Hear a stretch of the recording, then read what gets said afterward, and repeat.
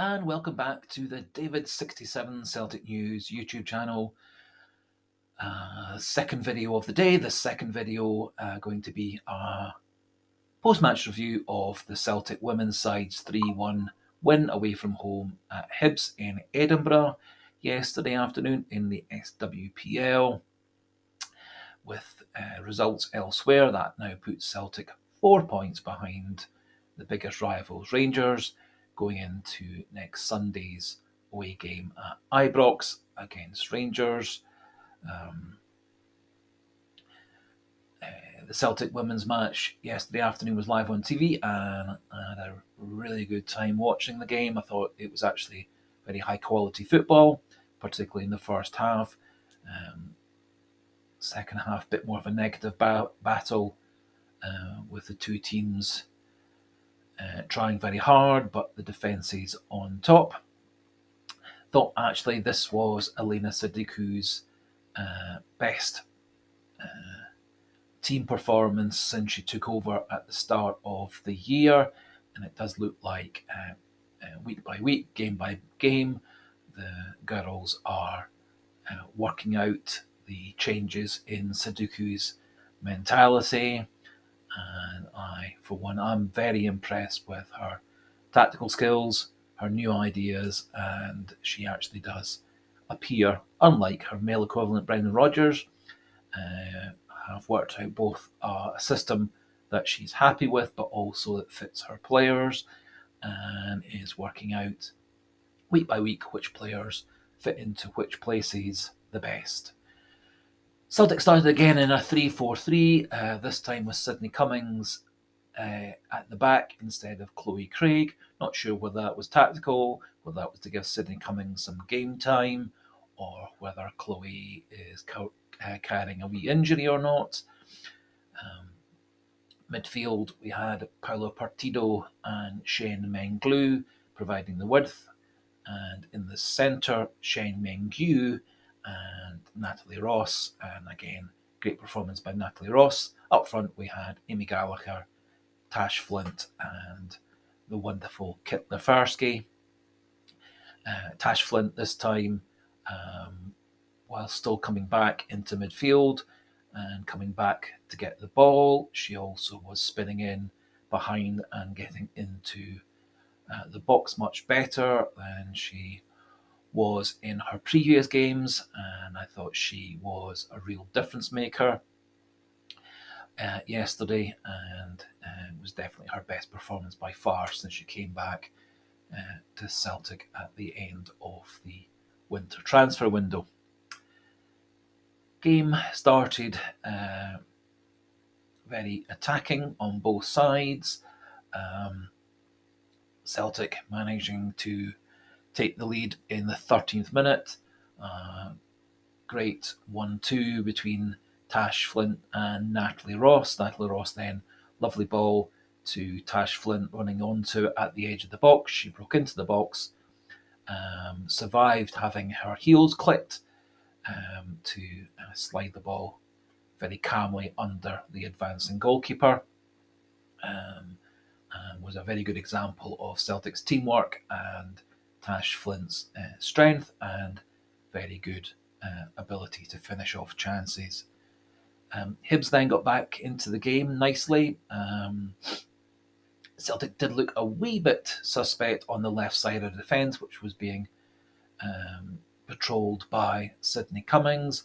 And indeed, a misplaced pass by Sydney Cummings uh, was picked up, passed into um, the excellent Jorian Baucom, a 27 year old uh, American international. She um, uh, pushed past um, Cummings with great pace and then absolutely stupendous, terrific sh- shot into the top corner. It was completely unsavable.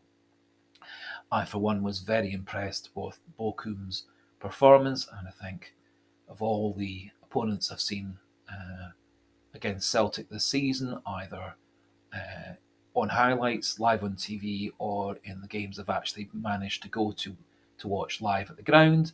I think Baucom has actually been uh, the best player that we've come up against in Scottish football, and um, there was any possibility of getting her to Celtic Park and the Celtic squad next season, I would um, jump at the chance. Very impressive, fast footballer, very skillful on the ground, uh, strong in the challenge, holds off challenges very well, and an excellent finisher. And I think it was uh, a great compliment to Celtic's uh, back three that Baucom only scored one goal. Uh, she was a constant threat in the first half and the second half. And as I said, um, looked uh, the best player I've seen Celtic playing against this season, better than the uh, Rangers players and better than the Glasgow City players up front.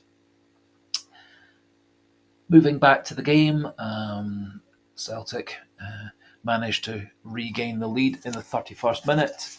Um, a ball from a corner was cleared out back to Shen Mengiu on the edge of the box on the left hand side. She then hit a wonderful pinpoint cross to uh, Caitlin Hayes, who rolled up, rose above the defence and uh, headed the ball forcefully past the Hibs goalkeeper. Quite impressive because Caitlin Hayes had two big bumps and bruises on her forehead from previous challenges, uh, but it didn't seem to affect her ability to direct the ball uh, with a lot of force and accuracy past the Hibs goalkeeper, and was a very impressive typical Celtic uh, goal from set pieces and corners. Celtic then uh, carried on being in uh, the uh, dominance for the rest of the half, uh, controlling midfield, and particularly Paula Partido down the right hand side, a regular threat. The movement of Kit Loferski and Tash Flint uh, very much disrupted um, the Hibs defence thought Amy Gallacher had her poorest game so far that I've seen for her this season. She seemed a wee bit lost in the current formation and wasn't really at her best. And I think Celtic did look a bit stronger once Jenny Smith came on in the second half to replace her. And also, uh, I thought the midfield tightened up nicely when Colette Kavanagh came on towards the middle of the second half. And so they did look a bit more solid in central midfield, although a wee bit less creative after Shen Mengyu went off. Kit Loferski also came off uh, around midway through the second half. Coming on to replace her was Murphy Agnew, not so much of a threat up front and not quite such a mobile player, but a very clever um, attacking midfielder.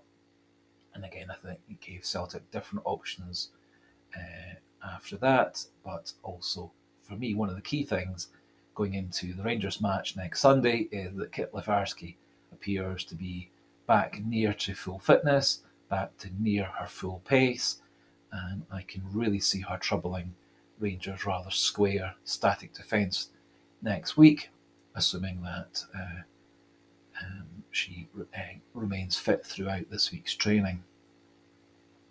So just towards the end of the uh, first half, in the 43rd minute, again uh, another uh, set piece, corner into the box. Uh, Caitlin Hayes headed the ball back across the goal, um, picking out Tash Flint on the edge of the six-yard box. Um, her slightly mishit shot into the ground, uh, bounced up in front of the Hibs defender, who sliced the clearance into the top of the net.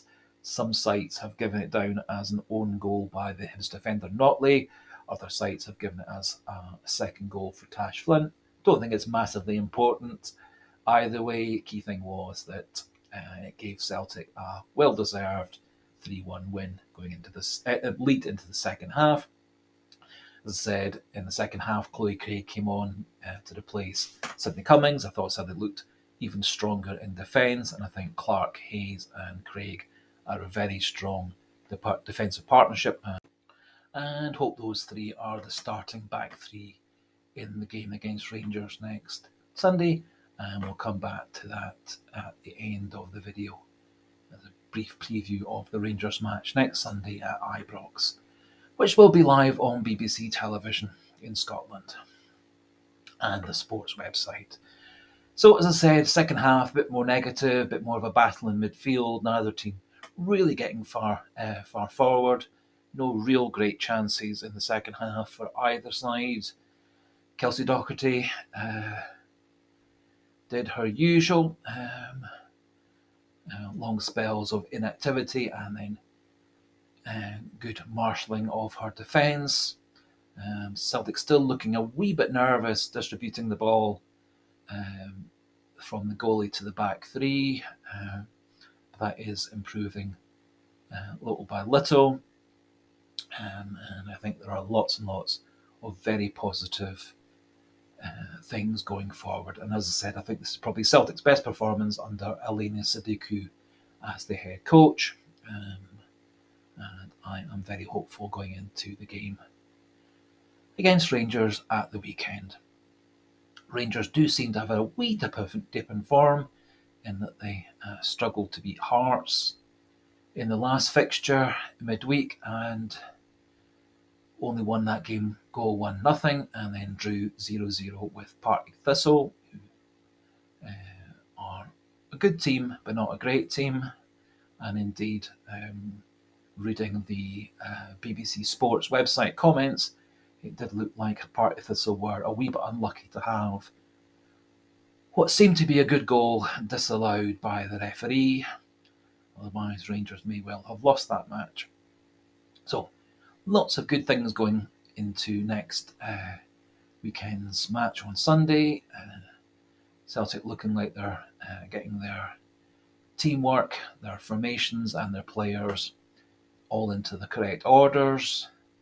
Looks like the tactics are working better and better, that Elena Sadiku's new ideas are being adopted and worked on very well by all the players in training. I think Tash Flint is up to her full match fitness now, which I think is very important for the game next Sunday, as is Kit Loferski. Um, and uh, for me, uh, Celtic's team for next Sunday should really be in the 3 4 3. Question is whether we should go for more of a defensive midfielder with the ability to tackle, such as Colette Kavanagh, alongside Natalie Ross, with Menglu and um, Partido out wide. Although I would actually really like to see uh, Maria McAneny out wide on the left for Celtic. I think she's actually been a very important player. Other option could be Shen Meng Gu in central midfield, as it was yesterday against Hibs. The game that I watched between Celtic and Rangers in the League Cup semi in Airdrie a few weeks ago. Uh, Shen was kind of outmuscled and outfought in central midfield. Um, and so I do wonder about Colette Kavanagh. Another option, which might be slightly more risky, would be using Chloe Craig or Caitlin Hayes in central midfield, again to try and use their strength and very good defensive abilities, whilst also having very good ability to find a pass. Another option for Celtic, which also would make sense with Sydney Cummings having had 45 minutes yesterday.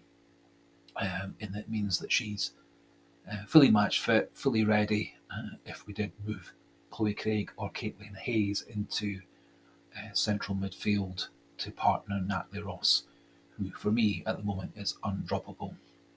Um, other wee question is whether we keep going with Amy Gallacher up front or whether we use maybe Murphy Agnew on that side with her ability to drop back into midfield. Um, other options might be using uh, Jenny Smith or even Shen Meng, Meng Yu in that position. And so I think there are several options for Celtic, but for me, we need to have Hayes, Craig, and Clark uh, in the team at the back. Kelsey Daugherty in goals, Nat Ross in the middle, Paula Partido on the right with uh, Flint and Loferski up front, and then down to the judgment of Sadiku over the week's training as to whether she goes with Colette Kavanagh or one of the central defenders in midfield, and who she chooses to be out wide on the left, and who she chooses to be on the right side of that front three. Either way, I think Celtic's got good strength and depth, good ability to take players off the bench as subs and change the game. And we have lots of players who can come on and inject pace and skill and goal scoring threat. So, very positive now about the game against Rangers on Sunday, which a couple of weeks ago I was much less positive about. So that finishes off this wee video about the Celtic women's side. For anybody new to the channel who uh, enjoyed this video or enjoyed the coverage of the Celtics women's side, which I think is undercovered on YouTube and on the internet, um, please do click that subscribe button, get the subscriber numbers creeping back up again, and as always, do think about clicking that like button, get more coverage of the Celtic women's side on YouTube, and also very happy to read any kind of comments regarding the Hibs match, Celtic women's side as it is at the moment, and also your own thoughts regarding the vital game at Ibrox against Rangers women next Sunday. So for today, uh, thanks for watching and listening. Uh, goodbye and hail, hail.